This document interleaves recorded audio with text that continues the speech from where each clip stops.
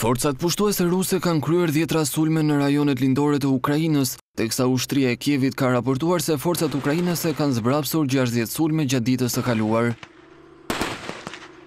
Në deklaratën e lëshuar në mëngjesin e tetë prillit, Shtabi i Përgjithshëm ukrainas tha se ushtria ruse ka vazhduar të shënjestrojë lindjen e Ukrainës, me fokus në qytetet e Limanit, Bakhmutit, Avdiivkës dhe Marinkës, që gjenden në rajonin e Donjeckut. Gjatë njëzet e katër orëve të kaluara, armiku ka lëshuar dy raketa dhe tridhjetë e pesë sulme ajrore dhe ka kryer mbi dyzet sulme me rakethedhës, njoftoi ushtria e Ukrainës, teksa shtoi se forcat pushtuese ruse në rajonin e Zaporizhjas dhe Hersonit, Po bëjnë përgatitje për atë që Kievi e quan evakuim të civilëve për në Krimenë e pushtuar nga Rusia. Sulmet e reja vijnë në mes të raportimeve se forcat pushtuese ruse kanë bërë përparim në Bakhmut. Më shtatë prill, zyrtarët ushtarakë britanikë thanë se forcat ruse kanë të ngjarë të jenë futur në qendrën e qytetit dhe kanë marrë kontrollin e bregut perëndimor të lumit Bakhmutka.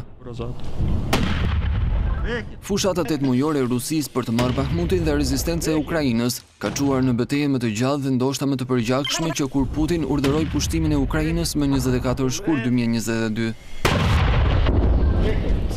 Ministria britanike e Mbrojtjes në publikimin e fundit për luftimet tha se përpjekjet e Rusisë për të dëmtuar seriozisht infrastrukturën energjetike të Ukrainës ka të ngjarë që kanë dështuar. Rusia ka kryer sulme që nga tetori i vitit dy mijë e njëzet e dy, por sulmet në shkallë të gjerë kanë qenë të rralla që nga fillimi i marsit dy mijë e njëzet e tre, njoftoi ministria. Presidenti rus Vladimir Putin, që po përballet me një urdhër arrest nga Gjykata Penale Ndërkombëtare, ka urdhëruar ushtrinë e tij që të marrë kontrollin e plotë të Donjeckut, Luhanskut, Zaporizhjes dhe Hersonit, zona që Rusia pretendon se i ka aneksuar paligjshëm. Ndërkohë nga ana tjetër, Ukraina ka sinjalizuar se shumë shpejt do të nisë një kundërofensivë për të rimarrë më shumë territore të humbura.